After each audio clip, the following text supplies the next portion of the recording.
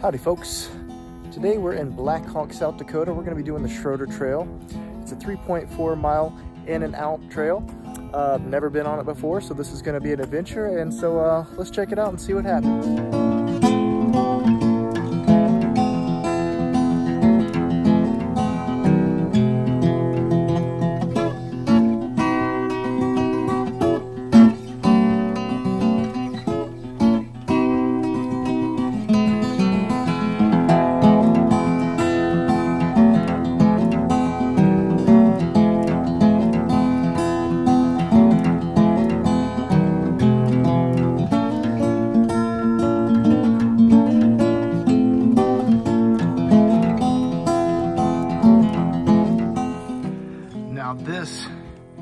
Is a really nice trail tree right here. This is known as wild black cherry or native black cherry. The fruit is edible, but nothing else in the plant is due to the fact of amygdalin, which can be toxic if ingested.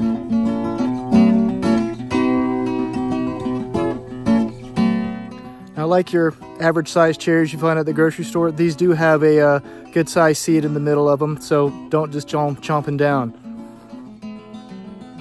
But they are really tasty. Let's see if you can see right here. That is what the seed looks like. Delicious.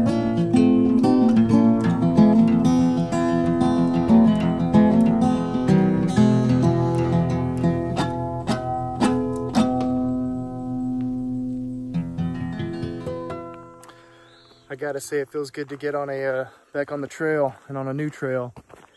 Went back down to Georgia for uh, for five weeks to spend time with my fiance, and uh, we went on a nice little road trip up to New England and then Michigan and Ohio and such. And uh, didn't really get to do too much in the way of uh, any hiking, so feels great to to be out here today. It's a beautiful day, and uh, just gonna check it out.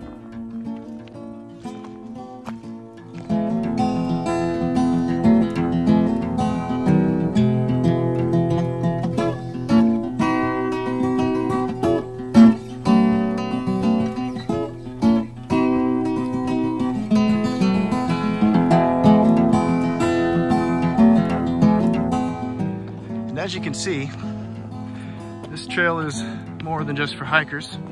It's also for your uh, motorized vehicles like your ATVs and such. So bring them on out if you got them.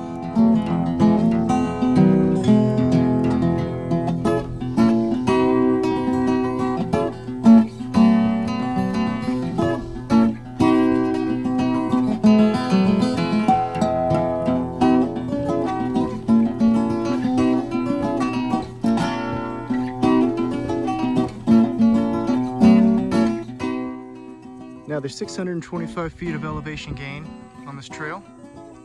It's like we just uh, opened up to a nice field down there.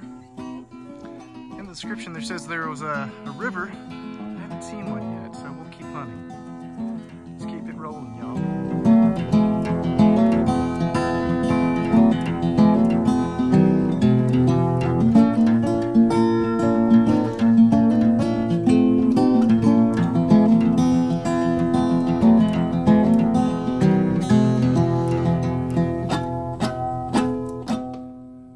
Right, trail opened up a bit. We finally got ourselves a, uh, a decent view out here. Still haven't seen that river. Oh well, not much further to go. We'll see what happens.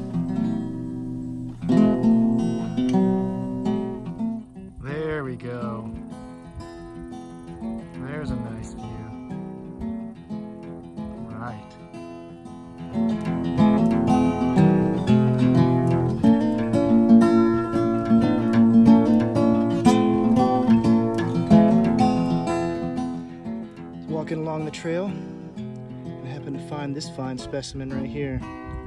If you know what kind of bird this came off from, let me know in the, uh, the comments section.